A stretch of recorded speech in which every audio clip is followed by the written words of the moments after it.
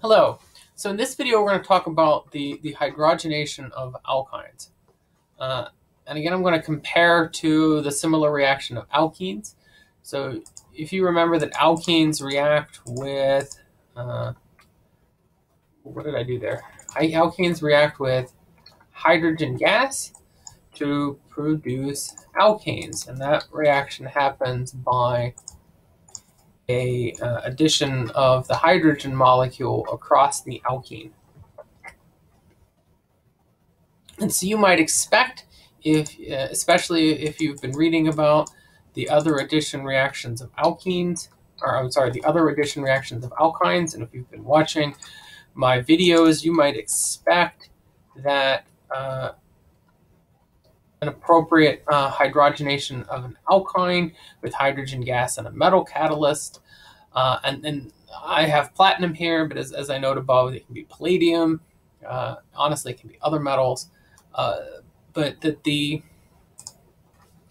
that, that, that hydrogenation with one equivalent of hydrogen, uh, uh, the alkyne will stop at the alkene. But it turns out, unhelpfully, that the al alkene is more reactive than the alkyne here. We are going to encounter uh, this situation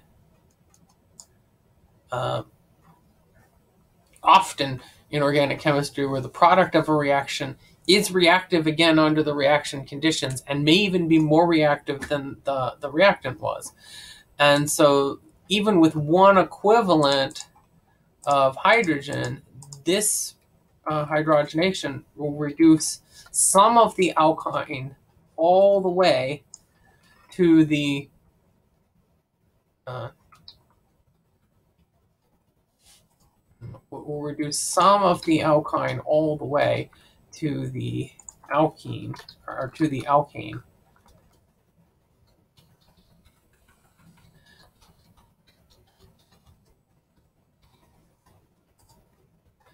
it is hard to stop after one hydrogenation. Uh, and of course, if we were to do it in excess uh, hydro excess hydrogen conditions, we would also, uh, and not surprisingly, get full hydrogenation. So if it's hard to stop after the alkene, um, how could we do that? Uh, it turns out there are a couple of ways to do partial reduction of alkenes. Um, one method uses a poisoned catalyst. Uh, a poisoned catalyst uh, is, is something that is going to make the catalyst less reactive with the alkene. Uh, and there are different uh, ways that this can be done, and I've got a video coming up talking about uh, poisoned catalysts, and something silly happened here. Uh, okay, poisoned catalysts and what those are. Uh, for right now, we'll just leave off that these are poisoned catalysts. They are metal catalysts, but they've been poisoned. And by poisoning, we mean that we've done something to them that makes them less reactive with alkynes, uh, with alkenes rather, but that we are uh,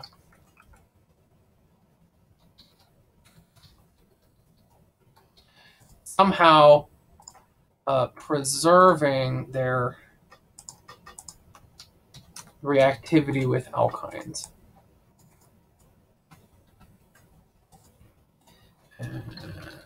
poison palladium as our example here. Uh, again, and, and in the next video in this sequence, I will talk about the different poisoned catalysts and how they work. Um, poisoned catalysts, and so this is one way of producing the alkene instead of the uh, instead of the alkane. Another way to do it uh, is by a type of uh, reduction called a dissolving metal reduction.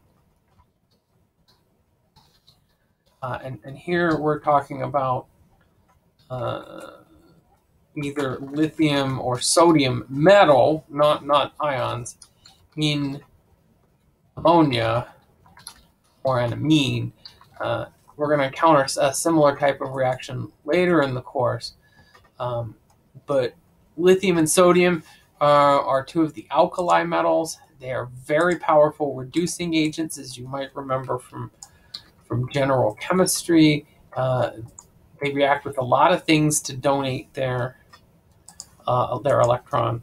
And sodium in ammonia is uh, perhaps the, the more common version, but there are some that use lithium and some that will use uh, amines or, or, or other solvents. And in an upcoming video, we'll talk about how this dissolving metal reduction works.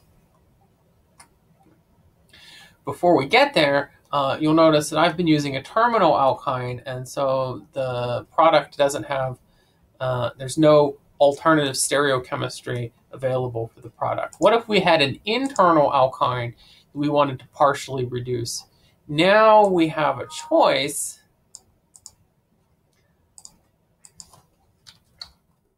of uh, the trans or the, the cis alkene. Um,